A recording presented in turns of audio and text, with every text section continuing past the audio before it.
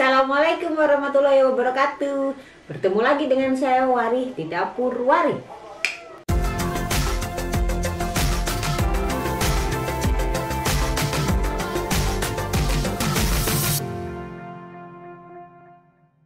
Ya, kali ini, di video kali ini Saya akan membahas tentang loyang. Loyang kue. Ada satu loyang pizza ini loyang harga rata-rata mau yang gede mau yang kecil hampir sama. Sekitar 9 ribuan sampai 12 ribu.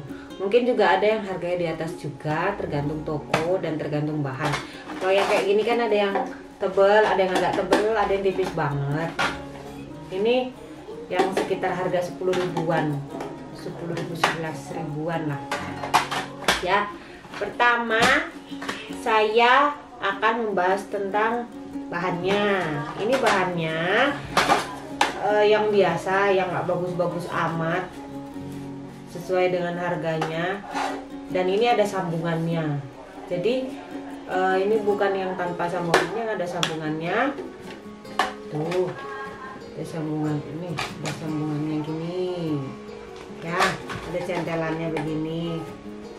Ini kalau misalnya buat para pemula seperti saya juga e, sebenarnya kalau beli loyang nggak usah yang bagus-bagus banget dulu yang begini aja ini sudah awet banget. Ini sampai bertahun-tahun juga masih awet.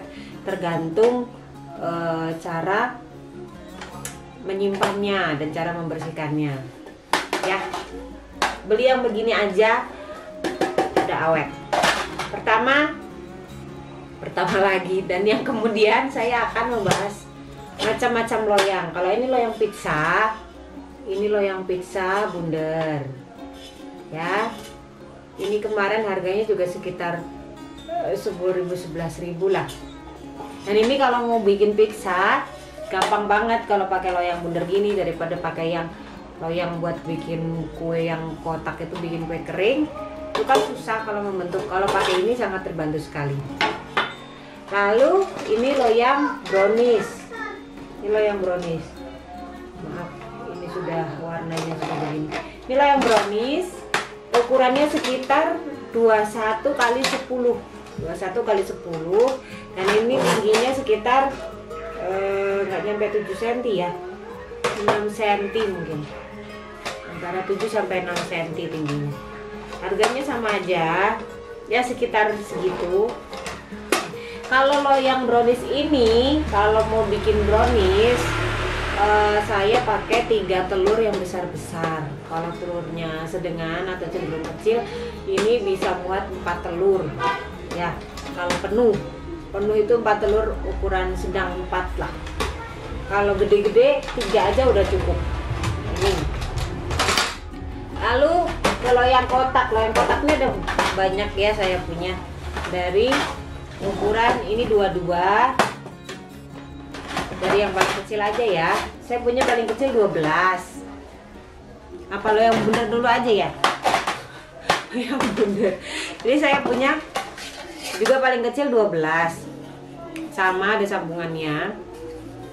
Ini kalau untuk bikin kue panggang maksudnya seperti bolu, black forest yang dipanggang ini telurnya cukup dua.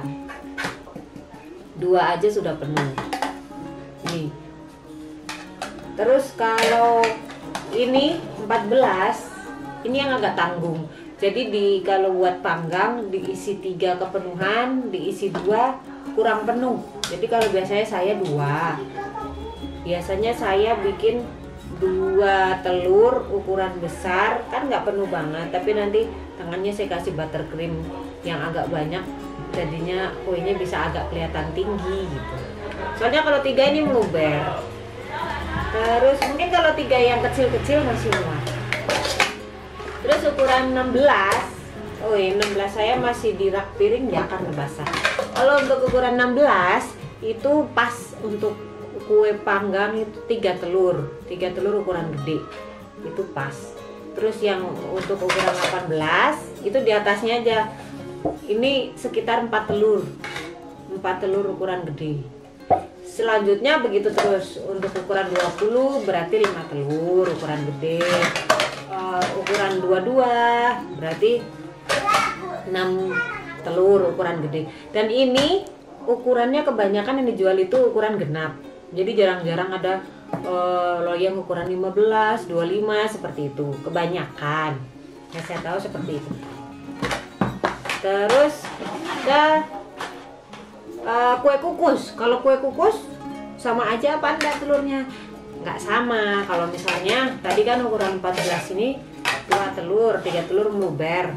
Ini kalau buat kue kukus seperti brownies kukus atau red velvet kukus ini tiga telur eh, pas. Tapi kalau ukuran 16 yang biasanya tiga telur ukurannya tiga telur untuk panggang kalau untuk kukus dia empat telur. Jadi uh, rumusnya itu ditambah satu telur kalau misalnya untuk kukus. Kalau misalnya panggang biasanya 16 tiga telur berarti kalau untuk kukus itu muat empat telur. Ya. Jadi kalau mau bikin brownies kukus pakai ukuran 16 itu 4 telur ukuran 18 berarti 5 telur seperti itu. Kalau untuk yang kotak untuk ukuran 12 kalau misalnya tadi itu 2 telur ini tambah satu berarti 3 telur. Kalau 4 telur itu agak tanggung ini yang 12 eh yang 14 yang 12 ini 2 telur cukup. Kalau ini 14 ini sekitar 3 telur empat telur ya kalau empat telur masih masuk ya. Lalu kalau ukuran 16 nya 16 saya yang ini udah pepel. 16 ini kalau yang bundar itu tiga telur maka kalau kotak ditambahin satu telur. Jadi empat telur. Kalau panggang ya jadi rumusnya uh, loyang ini untuk loyang kotak untuk panggang itu ditambah satu telur dari yang bundar kalau misalnya yang 18 kalau misalnya yang 18 bundar panggang itu 4 telur kalau yang kotak 5 telur. Begitu juga kalau yang kukus. Kalau yang kukus eh, yang harusnya yang misalnya kalau yang 16 itu eh, yang panggang itu 4 telur berarti kalau yang kukus itu sekitar 5 telur.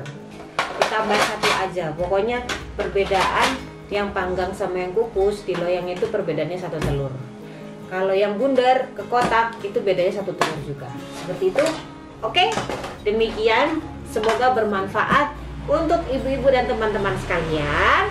Jangan lupa subscribe like dan komen. Silahkan kalau ada pertanyaan komen aja. Atau mau request saya bikin video apa silakan. Terima kasih. Wassalamualaikum warahmatullahi wabarakatuh.